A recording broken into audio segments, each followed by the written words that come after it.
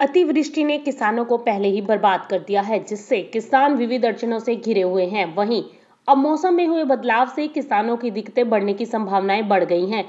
कपास फ़सल पर बड़े पैमाने पर असर देखने को मिल रहा है। वहीं, अचानक मर बीमारी के प्रकोप से हरे पौधे भी सूखते जा रहे हैं, जिससे कपास उत्पादक किसान फिर से आर्थिक दिक्कतों में घिर गए हैं। आपको बता दें कि प्रकृति ने किसानों की परीक्षा लेना शुरू कर दिया है, जिसके चलते अनेक किसानों को अड़चनों का सामना करना पड़ रहा है। सोयाबीन फ़सल अत्यधिक बारिश से हाथ से निकल जाने के बाद किसानों को कपास से उम्मीद थी, लेकिन कपास को भी बड़े पैमाने पर झटका लगा है।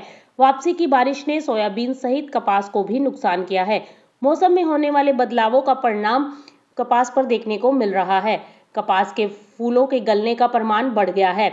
वहीं पहली बाहर ऐसा देखने को मिला है। इतना ही नहीं, कपास पर मर बीमारी का भी असर देखने को मिल रहा है। मर रोग ने हरे भरे पौधे भी सूखने लगे हैं। इस दौरे संकट से किसान जूझ रहे हैं। पहले की अतिवृष्टि ने, किसानों को झकझोर रख करके रख दिया था। वहीं अब मौसम में होने वाले बदलावों से, पनपने वाली बीमारियों से किसान संकट में घिरे हुए हैं। मौसम में होने वाला अचानक बदलाव कपास फ़सल के लिए परेशानी का सबब बनता है। हाल ही की स्थिति में कपास फ़सल में प्राकृतिक तौर पर गलन की समस्या भी देखने को मिल रही है। Bureau report, Market Times TV.